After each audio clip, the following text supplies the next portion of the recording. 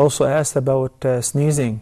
Why is it prescribed to tell the person who sneezed, Yarhamukumullah, or why is it prescribed for him to say Alhamdulillah? In fact, first of all, let me quote the hadith which is collected by Imam al Bukhari in the cigar, in which the Prophet ﷺ said, Inna Allah yuhibbul itas wa yakrahu at Allah likes sneezing and he dislikes yawning. Yawning is from Satan. When the person yawns, Satan laughs at him and he mocks him. When the person sneezes, it causes disturbance in all the body parts and organs. You mentioned also the heart.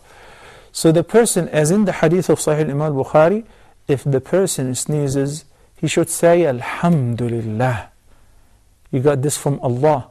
When you say Alhamdulillah, thank you Allah, he said, then حق على كل مسلم سمعه it becomes due on every Muslim who heard him saying Alhamdulillah upon sneezing to say Yarhamukumullah. Sahih Imam Muslim, among the rights of a Muslim upon another Muslim is Tashmitul Atus. The shamata in Arabic is a very interesting term. A shamata is to show, to show joy and delight at the grief of another. So what does it mean to do tashmeet to your Muslim brother? A shaitan, a shaitan who likes yawning and dislikes sneezing, because sneezing uh, from Allah subhanahu wa ta'ala, and yawning is from a shaitan. When the person who sneezes says, Alhamdulillah, then you say to him, Yarhamukumullah, so he, it's a double benefit that teases and bothers the shaitan a lot. So at tashmeed, in this case, is to show the joy and delight at what bothers a shaitan and drives him crazy. There are a lot of medical researches with regards to what happens to the person when he sneezes and what happens to the heart, it stops and all of that.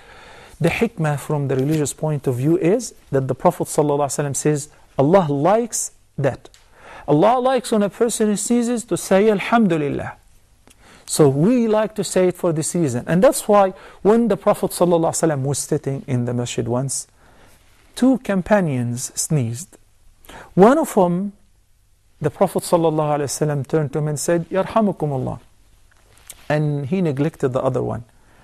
The one who was neglected was kind of upset. He came to the Prophet ﷺ and said, Ya Rasulullah, why did you do tashmit? To him and you neglected me. He said, because he said Alhamdulillah when he sneezed and you said it not. So it's only prescribed to say Yarhamukumullah, may Allah have mercy on you, to the person who says Alhamdulillah upon sneezing. If he does not say it, we can still recommend for him to say it so that we can pray for him and say Yarhamukumullah.